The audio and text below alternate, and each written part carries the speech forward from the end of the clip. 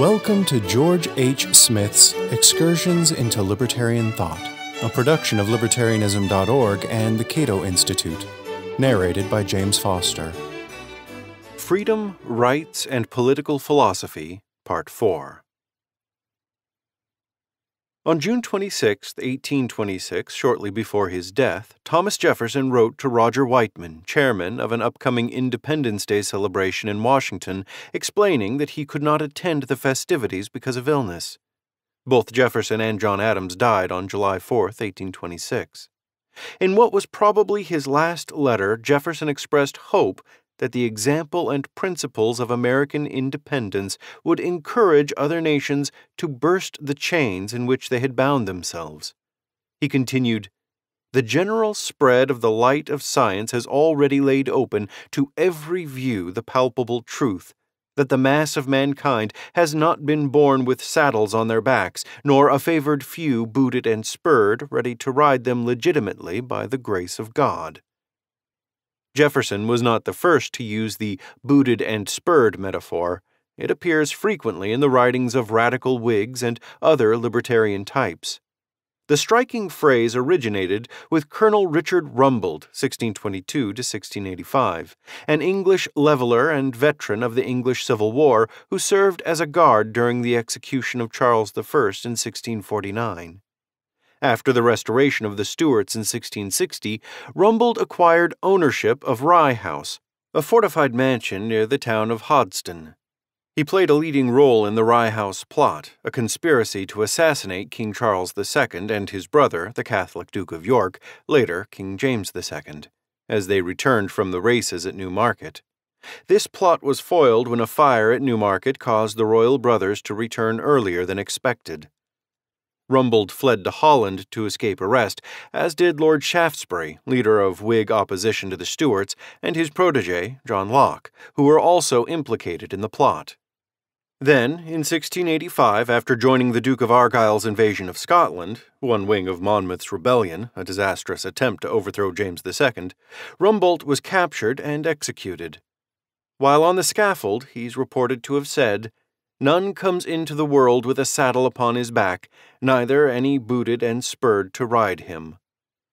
This metaphor reflected the doctrine of levelers and radical Whigs that humans are born morally equal, so no person can legitimately claim political power or dominion over others as a matter of natural right. As the leveler Richard Overton explained in An Arrow Against All Tyrants, 1646, to every individual in nature is given an individual property by nature not to be invaded or usurped by any. For everyone, as he is himself, so he has a self propriety, else could he not be himself.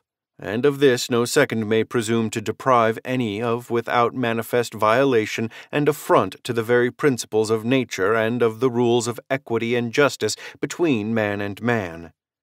Mine and thine cannot be, except this be. No man has power over my rights and liberties, and I over no man's. I may be but an individual, enjoy myself and my self propriety, and may right myself no more than myself, or presume any further. If I do, I am an encroacher and an invader upon another man's right, to which I have no right.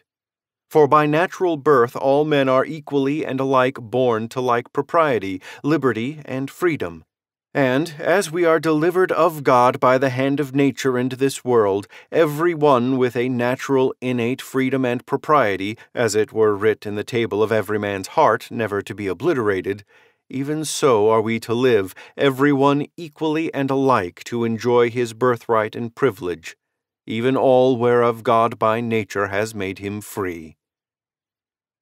According to Overton, every man by nature being a king, priest, and prophet in his own natural circuit and compass, whereof no second may partake but by deputation, commission, and free consent from him whose natural right and freedom it is.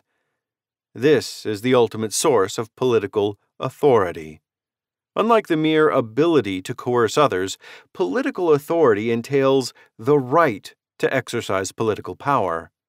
What makes power specifically political in nature is an issue that I cannot discuss at this point. And since individuals are born with equal rights, since no person can claim special rights not possessed by others, political authority can arise only when individuals voluntarily delegate certain of their rights or rightful powers to a specific government. The right of rulers to demand obedience is therefore an acquired right, often called an adventitious right, not a natural right, and it can be acquired only through consent. Years before Jefferson used Rumbold's booted and spurred metaphor, it had been employed by James Wilson, the brilliant American legal theorist who was only one of six men to sign both the Declaration of Independence and the Constitution. Wilson played a major role during the Constitutional Convention, where he was virtually the only delegate to call for the complete abolition of slavery, and he later served on the Supreme Court. In 1790, after being appointed professor of law at the College of Philadelphia, later the University of Pennsylvania, Wilson delivered an extensive series of lectures on law. Although his lectures were not published during his lifetime, Wilson hoped they would eventually serve as an American version of Sir William Blackstone's Commentaries on the Laws of England. Wilson's lectures covered far more than law in the strict sense. They also explored the philosophy of law in considerable detail. Wilson was especially interested in the authority of law. Why are people obligated to obey laws? What is the ultimate source of this political duty? Wilson did not like Blackstone's answers to such questions, and he traced Blackstone's errors to his definition of law. According to Blackstone, who was following the lead of Samuel Pufendorf and other previous philosophers of law, Law is that rule of action which is prescribed by some superior and which the inferior is bound to obey. This definition provoked a spirited response by Wilson. A superior. Let us make a solemn pause. Can there be no law without a superior? Is it essential to law that inferiority should be involved in the obligation to obey it? Are these distinctions at the root of all legislation? A little later, Wilson continued If I mistake not, this notion of superiority, which is introduced as an essential part in the definition of a law, contains the germ of divine right, a prerogative impiously attempted to be established, of princes arbitrarily to rule, and of the corresponding obligation, a servitude tyrannically attempted to be imposed, on the people implicitly to obey. Wilson did not believe Blackstone was a votary of despotic power. Nevertheless, regardless of what Blackstone's intentions might have been, his conception of law logically entails the right to exercise despotic or absolute power, and so would poison the science of man and the science of government to their very foundations. The inner logic of ideas, the fact that premises will out, as Ayn Rand might have said, demands that we lay the foundations of knowledge deep and solid, and carefully examine the claims of others, regardless of how venerable they may have become by reputation. The doctrine that law presupposes a superior inferior relationship is dangerous, so it was of radical importance to examine that doctrine meticulously. It was during his extensive criticism of Blackstone's theory of law that Wilson invoked Rumbold's booted and spurred metaphor. Had it been the intention of Providence that some men should govern the rest without their consent, we should have seen as indisputable marks distinguishing these superiors from those placed under them, as those which distinguish men from the brutes. The remarks of Rumbold in the non resistance time of Charles II evinced propriety as well as wit. He could not conceive the Almighty intended that the greatest part of mankind should come into the world with saddles on their backs and bridles in their mouths, and that few should come ready booted and spurred to ride the rest to death. Wilson recalled another illustration to make his point, one that was still more apposite to our purpose.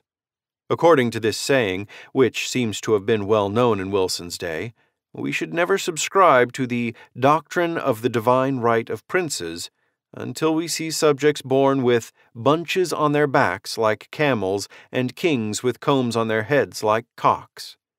These visible indicators might convince us that subjects were designed to labor and to suffer, and that kings were designed to strut and to crow.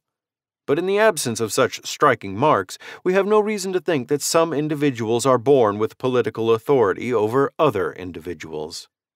The claim that humans are naturally equal, so far as rights and political dominion are concerned, has a long and distinguished ancestry.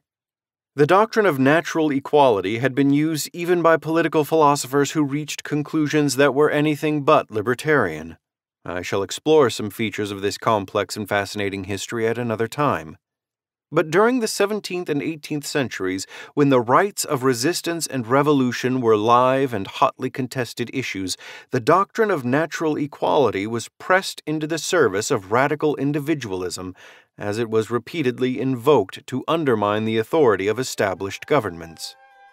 The reasoning involved here will be explained later in this series. For now, suffice it to say that the stress on natural equality had a good deal to do with the libertarian conception of freedom as equal freedom under the rule of law, a condition in which each person is free to dispose of his property, including his body, labor, and external goods, as he sees fit. Thank you for listening to Excursions. To learn more about libertarian philosophy and history, visit www.libertarianism.org.